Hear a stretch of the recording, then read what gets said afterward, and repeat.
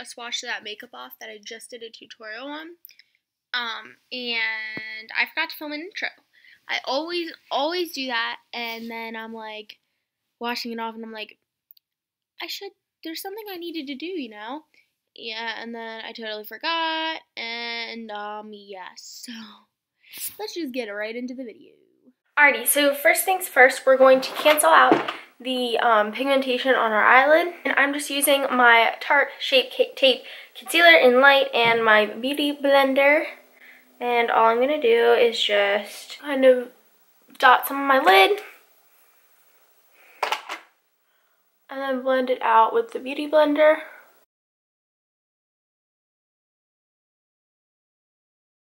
Now I'm going to set that down with some Coty Airspun powder. And this is just the translucent extra coverage formula.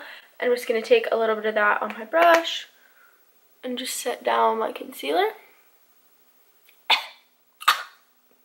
smells like my grandmother. Good powder, but it smells like my grandmother. For the red crease color, we're just going to take this red shade out of the um, Beauty Treats blush palette, and it's just this really red shade right here just going to take that. And we're not going to worry about transition shades at all. And we're just going to buff that into like the upper crease because we uh, want to blow it out. And you want to build this up because when it's sheared out it looks pink. And I've never heard of pink blood. So now I'm going to take a NYX Jumbo Eye Pencil in Milk and just take that in kind of a vertical motion my eyelid and a little in my crease. And don't worry about it blending together with the red and turning pink. It's not a big deal.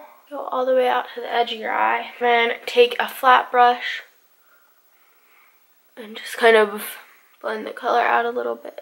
And don't worry about, like I said before, like harsh edges in your crease. Not a big deal. So it's okay to have a little bit of extra white in your crease right here. So we're going back into that same red shade from the Beauty Treats palette. And on this sort of flat liner brush, I'm just taking the red. And I'm going to start in my inner corner. And I'm just going to kind of like stamp it. And I'm just creating kind of red stripes that are a little bit thinner towards the bottom. And right now we look like a walking candy cane. You can kind of dab the color on. It doesn't have to be um, like straight, like perfect straight. It's actually better that it's not. And you can go, you have to go up all the way to the end of the white. Now you're gonna you're gonna grab a any black pencil liner. I have the Urban Decay 24/7 Glide On Eye Pencil in Perversion, and you're gonna just kind of outline what is going to be these blood drips and you want to make like a circle at the bottom like this.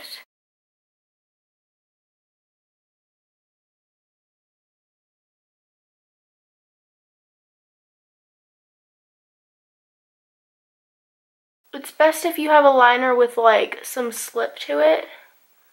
Um, that's not to be, that's not to pull on your lid too much. And now you want to just fill it in. And because your black liner is going to mix with the white base we have down, um, don't worry if it turns kind of gray. So now I'm going to grab a small liner brush and go into Blackout from the Urban Decay Naked 2 palette. I'm just going to take that on my liner brush and I'm just going to go over the black.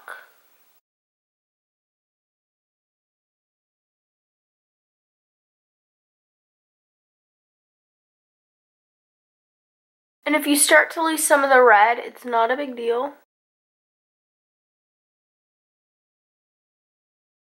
So now I'm going to take the smudger brush that has a lot of red eyeshadow on it.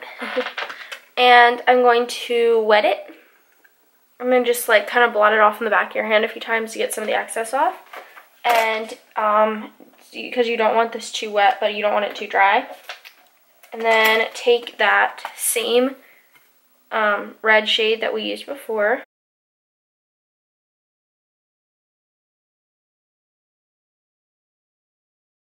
And then at this point, if you have any bare patches, just fill them in with whatever color. You can blend your crease a tiny bit if you want.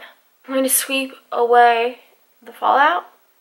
And you might have like some concealer down here, um, so it might stick. Just cleaning that up. So at this point, if you are wearing any other makeup, like I don't have any foundation on because I'm not really going to wear this out anywhere.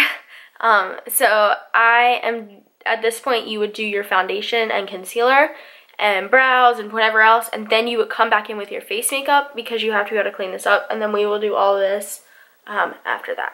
So to do these, this part of the look, um, we're just going to take this same shader uh, kind of brush, go into the red, and we're going to do one blood drop from our inner corner and just kind of make it curvy.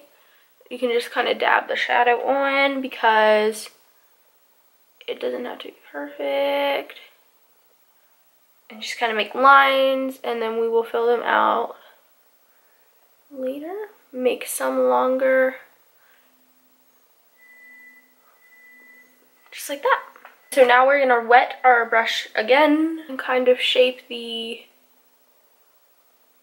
blood drips the way we want them.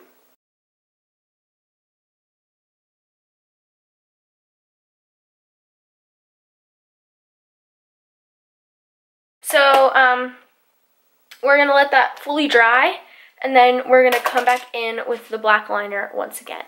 Hey, Future Marlee here. I'm laying in my bed editing this, as you can probably tell. I actually think I like it better without the liner part I'm about to do. And so if you want it to look a little bit more realistic, leave the liner out and end here and you can be done. Just pop on some mascara or falsies, whatever your choice is, and that can be it. Otherwise, you can do this if you want more of a cartoon blood drip look. So to finish things up, I'm going to take the same black liner and I'm going to outline these blood drips.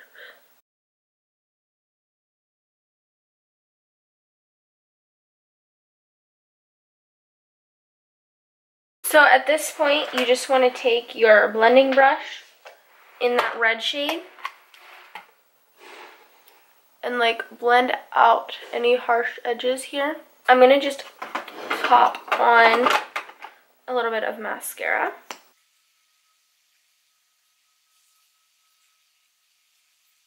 Alright, and then this is the completed look. Um, yeah, it's just kind of a drippy blood type of thing. Perfect for costume makeup and whatever else you want to do. So, yeah, I hope you all enjoyed this video. Please give this video a big thumbs up. Hit that subscribe button. Comment down below some challenge ideas for 50 subscribers when I hit that mark because I will be doing some sort of challenge and I need some suggestions. And if your suggestion is picked, I will give you a shout out. So yes, um, and I will see you on Wednesday. Bye.